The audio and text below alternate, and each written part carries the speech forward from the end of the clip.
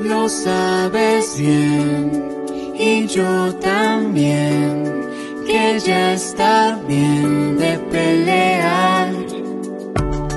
Lo que pasó estuvo mal y ya da igual, llegó el momento de olvidar.